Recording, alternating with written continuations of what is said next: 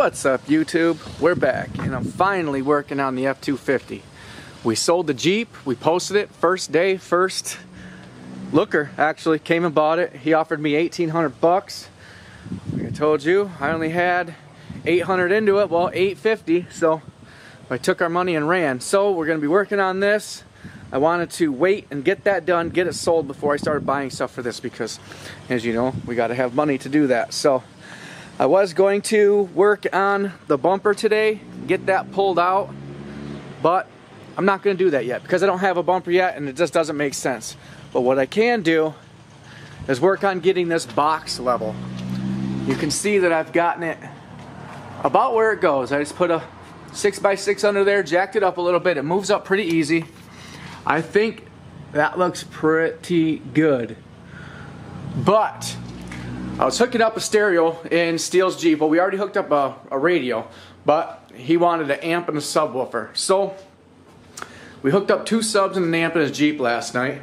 We're out here working and all of a sudden all my lights and all my outlets went out.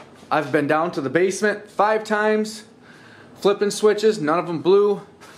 I have had a problem in the past with this little guy blowing. These are not made to have multiple circuits coming off them. You know, it's made for a bathroom or a kitchen or wherever water is present. So this little fuse inside here cannot handle very much um, power. So we're gonna switch that out real quick, see if I can't get my shop lights all working. Then I can get underneath this thing, get this box sitting nice. What I think I can do is just get in there into the frame into the bottom of the box and build a spacer and I'll just weld that in there. We'll get this truck sitting somewhat level again. So I'm gonna get started on this, trying to get some light in here. But for the meantime, what's up to all the new subscribers? We had an influx and I'm seriously grateful to all you guys. And if you're new here or you're a viewer and you're not a subscriber, what we do is basically buy cars, fix them, sell them, make money, you know, like a lot of the other channels. I buy cars from Copart, but my main goal is to show you how to pick up a car, where to get your parts cheapest, and you know, the best way to fix it. And generally, we do it the cheapest way. Um, you don't have to buy expensive parts, you don't have to buy new parts. Uh, you know, just take a little bit of thinking and a little bit of ingenuity, and you can come up with pretty much anything. So that's basically what my channel's founded on is fixing things with what you have in your garage. So we got it. I originally thought it was this because this thing pops all the time. Um, I don't know if it was a combination of that, but I replaced it with a new plug, new contacts. The wires were in that other one pretty loose. But check this out. There's that spaghetti. So the line comes in from the garage up in there, follows this big black one down. Comes in, goes over here, actually goes to this top circuit you can see I have two wires going into it and two on off switches. Well, the top one was the garage and I, I tracked this line back and forth like 10 times, could not find a problem with it. There's no breaks, there's nothing. So I came down here and I was flipping that back and forth. So then I said, screw it. I knocked off the whole circuit right there, main power in, pulled that breaker out, switched them wires around, put the top one in the bottom, the bottom one in the top. Put it back in, flipped it on, and now the boys don't have power in their bedroom, and I have power in the ground. So, this top one, circuit, is bad. I don't know, it's the oldest and ugliest one in there. Look at it, they're all new, except for this one. So, I'm gonna go buy a new breaker, and hopefully that fixes it. So, we finally got power in the garage. I'm gonna run to the hardware store because the boys need power in their room. We're gonna swap that bad boy out. Don't judge me on that wiring, I did not do it. But when you got six kids and you know, you got a big family, you gotta learn how to do this stuff yourself. I actually bought a house one time and remodeled it, rewired the whole house. I bought a book from Home Depot and taught myself, wired in my own box and everything, passed inspections. But yeah, I'm just one of those guys that likes to learn how to do everything himself. I'd rather not have to pay someone to do it, you know? And having that knowledge really helps you in diagnosing and fixing other things. So there we go, to the hardware store. We have restored the light. Thank God, because that was bothering me. So, we're back to this. I cut two plates. We're gonna put one plate on the bottom of the bed there, one plate on the bottom of the bed there. Because, you know, obviously it rusted out, so it's weak metal. We want to cover as much ground as we possibly can. So when we put this up there, you know, we can tack some welds around it. It isn't gonna take much. It's just to hold it up, you know. So we got that. I've got some 3 16ths iron that we're gonna build a leg off of the frame. It's gonna come up on an angle like so. And it's gonna weld to this, you know, coming up to the frame. I'll show you, but we gotta bend this. So I've got my homemade anvil out here. I am going to hammer on that and put a little bit of an angle because the frame is straight up. I want to hit the center of that square. If I go straight up, I'm on the edge. So I'm going to bend, hit that. I'll, I'll show you. I've got my angle. That's what I want. So now I'm going to go take a couple measurements and we'll get this thing built. This is another money pit of a hobby right here.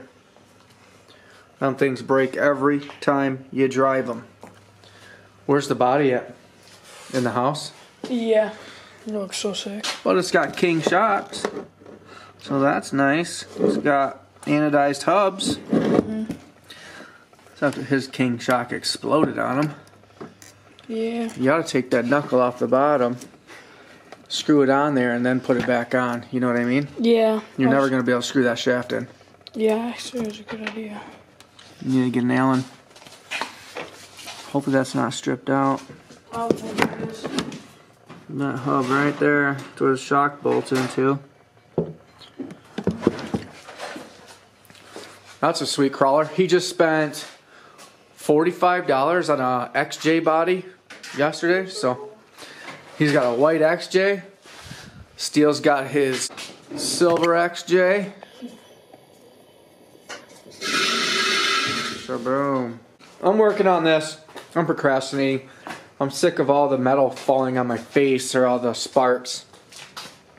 I'll get some light up there and show you guys what I got going. You can't really see it. Well, I mean, it's going good. It's just kind of a pain in the butt because you're overhead welding and you're laying right underneath it. So it just it just drops all those sparks on you and they all burn. All right, there it is, painted. It's welded to the box good, welded to the frame good. I've taken the jack off and it held itself in place. So I like it, it's painted. I mean, I don't know of any other better way without buying a new box and we ain't buying a new box. The outside appearance of the box looks great. But we've got the body line, up where it needs to be with no jack underneath it. I figured that 3 16 steel, that's some pretty stout stuff. So I felt like if I used anything smaller, that just the sheer weight of the bed would, you know, with bumps and everything, would eventually bend the strap or it would sag. I've got that square plate welded right to the strongest part of the bed, right at the front. Um, it's going to take a long time for that plate to ever go up through and by then, this box will probably be so, so shot that it needs to be replaced anyway. But right now, at this moment, I don't feel like the box needs to be replaced. It's still pretty clean. So we're going to shoot over to the other side, get that one done, and then I want to wash this thing. We left Copart. It's still been sitting here dirty, so I want to get this thing washed up and uh, dive in and see what else we got to do to this thing. All right, I've custom bent my second piece. We'll put this up underneath there, figure out which length I gotta cut it, weld it in. Everybody should have a big chunk of hardwood in their garage. You can use that thing for so many different things. It's just great to have around. All right, there's side one. And here is side two. Looks a lot better than it did. So let me get underneath here and paint this and then uh, we'll wash this truck. Here's the passenger side. Like I said, this side was a lot cleaner. Not clean by any means, but a lot cleaner. So we were able to get better welds on the box itself. Um, 3 16 iron, that's some pretty stout stuff. That'll hold up anything you want it to. So yeah, that's what I did. Let's get this thing pulled out.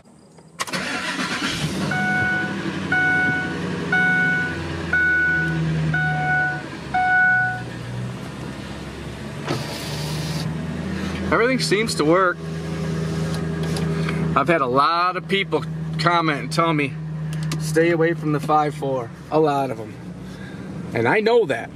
Like I said in my other video, I've rarely ever heard a 5.4 that runs and drives good. You know, you always have that manifold. You got to worry about them back spark plugs. There's a lot of things that could go wrong. I don't know. I just got a feeling from this one when I looked at it. I could tell that, you know, it was taken care of. And I was just kind of hoping that it was maintained throughout the years. And I really think it was. So it really does truly drive really good. Um, yeah, we got the bumper rubbing over there. What do you think? You think I can get 2,600 bucks out of that? I think I can. And if I get 2,600 bucks, I make a thousand dollars to literally drive to Copart, drive this thing home. I just worked underneath it for about 35, 40 minutes, getting that bed sitting right. And I'm gonna have, well, I don't know, hour, hour and a half into this front bumper, putting a new one on, and then, you know, cleaning it. So, what do you think? Honestly, I think I'm going to put it up for 3400 3500 and I think it's gonna go instantly. I think it's gonna go quick because anyone that comes here and drives it is going to like it. So, and it's dirty right now and it still looks great. Now I'm gonna wash it. Let's see what that does.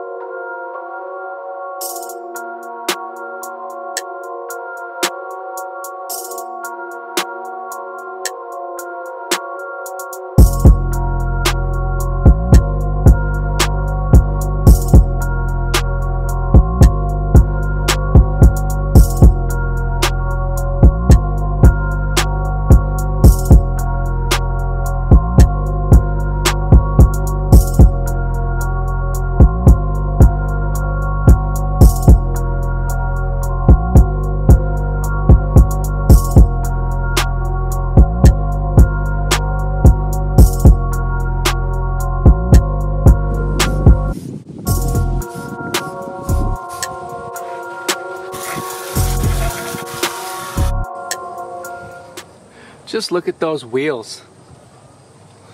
Man, this stuff works great. I mean, they're just shiny. Look at the other side. This is what they looked like.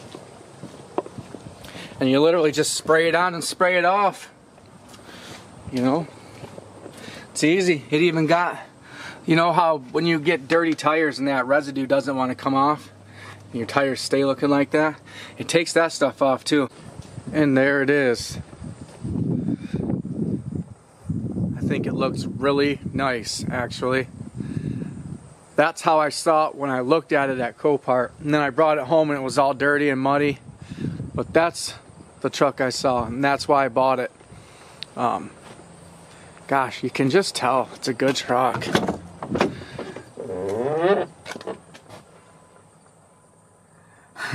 Everybody's warning me on the 5.4.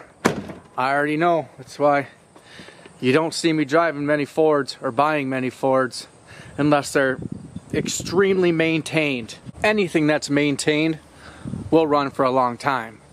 It's just that these things needed a lot more maintenance and a lot of people didn't keep up on it, you know? But for a Michigan truck, it's nice. I want to know down in the comments what you guys would post this for for sale. I'm thinking 3,300 bucks and I think it's gonna sell fast to the first person that comes. I think I'll have people beating down my door. Um, no matter what, I'm gonna make a thousand bucks off this, and I always aim for you know 500 and up. Because if I can get about a week's pay, I'm happy. We've still got a couple more things to do with it. People have been asking for the video on this. Um, so I figured I'd make one. I wanted to get that box set and nice before I did anything. Because you come to look at this, the box is sitting crooked and it's shaking and it's not mounted properly. That just turns a person off. May end up getting a bumper for this thing. I don't know yet. If I can find a bumper cheap, I will. If I can't find a bumper cheap, I'll get my come along on there. I'll pull that out. I'll slap it together as best I can, make it look good, decent, and I'll sell it. Um, for the most part, it's a beautiful truck. The inside's beautiful, everything works. I don't know that you'll see me buy another Ford on this channel. Unless it looks like this one, and I can tell it's been, you know, loved. But there it is. Gosh, I really want to know what you guys think it's worth. And I know the 5.4s are junk on 90% of them. And mostly here, it's F-150s. These trucks, I'm telling you, the, in Michigan, you only see these with the 7.3 and uh, the V10. That's it. I I swear I've never seen one with a 5.4 in it. That's why it blew my mind. Might as well own it, I guess. Let's just take a quick look at this interior. Does yours have carbon fiber? Look at that. Crazy. This thing's a beast. Dash looks nice. Headliner is beautiful. The upholstery is beautiful. Carpets, gorgeous. I mean, what more can you ask for, guys? I do want to do a little bit of work to this door. I did get it open, but it opens hard. We need to get some grease on that pin, free it up a little bit with some uh, PB Blast. I'm going to take these toggle switches out too. I found out what the toggles go to. If you look under here, you can see that light. All them lights. We also have lights down the side here that have been broken over time. You see it? There's three of them there. Why the heck you'd wire them up to something looking like that? I have no idea. He obviously never had plans to sell it, I guess. But yeah, we'll clean this thing up. Well, Britt will clean this thing up and it'll look brand new. It'll drive like new. Um, I don't think it's gonna have any problem selling. I wish I could steal these tires for Steele's Jeep, honestly. 16 inch rims, freaking oddball. The paint match bumper though, look at that. Doesn't that just change the truck? You don't see many of them with paint match bumpers, but when they do have it, or any truck for that matter, they just look cool. Paint match grill, paint match bumper. It just ties that whole front end together. Makes it look just beefy, I think. You know? Gosh. I don't know. I'm gonna wrap this video up here though, guys. Seriously, let me know what you'd sell it for or what you'd post it at. What are your opinions on it? We already know no one likes the 5.4. Get it. You know, anybody who knows cars or trucks for that matter knows the 5.4 is trash. If it hasn't been maintained, but if it has been maintained and kept up over the years, it will last. Let me know. I want your opinions. What you'd post this for sale at. What else would you do for it? Would you put a bumper on it? Um, I want to know if anybody else knows other ways to fix that box. There's got to be other ways out there because I'm telling you, with a box that looks that nice, no one's going to buy a new box. And that's really the only way to fix that. I mean, that whole channel that runs across there is rusted out, and that's kind of what I welded my plates to.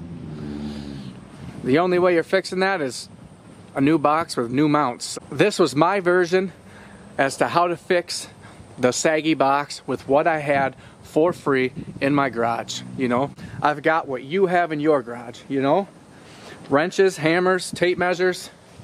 You know, a lot of people may not have a welder. Everyone's got a buddy that can weld. Weld you some steel to the frame, bring it up on an angle, weld it to a plate. You know, that, that five by five inch plate, it's gonna take a long time for that box to rust out. for that five inch plate to go up through. That's gonna last a few years, honestly. You know, and by then, like I said, this box will probably be trashed. You know, if someone can get, I don't know, five more years out of this truck with a 4x4 looking the way it does for my minimum I'll take for it is 2900 bucks. That's a steal. I'd buy I'd drive this thing for 5 years for 2900 bucks. Let me know if you think I'm going to have a hard time selling it. But I'm going to wrap this up, guys. All the new subscribers, I hope you like what you see. Um, and everyone else watching my videos, basically what we're doing here is just we fix cars with what we have in our garage. Just basic, everyday tools. So, I hope you like what you saw. Maybe consider subscribing if you got value from this video. Um, if you learn anything, maybe like the video for me. I really appreciate it. That shows YouTube we're good people. And uh, yeah, have a good day. Peace.